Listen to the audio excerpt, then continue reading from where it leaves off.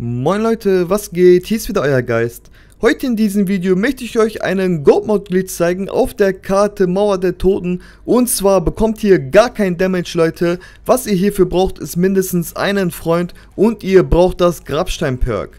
Also, holt euch erstmal das Grabstein-Perk, Leute. Wenn ihr das Grabstein-Perk habt, dann müsst ihr zu einer Seilrutsche gehen. Ihr könnt euch ja schon mal töten, Leute. Und wenn ihr dann tot seid, benutzt ihr euren Schattenmodus vom Grabstein-Perk und äh, geht zur Seilrutsche. Hierfür müsst ihr die Seilwinde hier benutzen und dann stellt euch hier gegenüber einfach an die Seilrutsche hin und nun müsst ihr ausbluten, Leute. Und kurz bevor ihr beim Ausbluten seid, aktiviert ihr die Seilrutsche, dann benutzt ihr sie noch und seid komplett tot.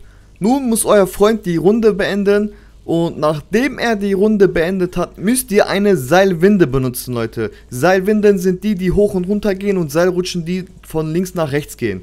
Wenn ihr das dann gemacht habt, dann könnt ihr einfach runterspringen und ihr seid im God-Mode und bekommt gar kein Damage.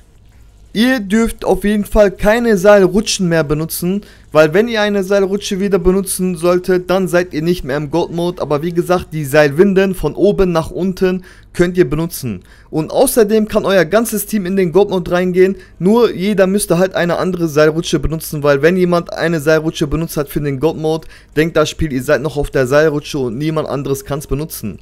Das war's dann mit dem Video, Leute. Ich hoffe, euch hat das Video gefallen. Falls ja, lasst doch ein Like da, schreibt mir die Kommentare und für all die, die noch kein Abo bei mir haben, können das an dieser Stelle gerne ändern. Ansonsten ciao und bis zum nächsten Video.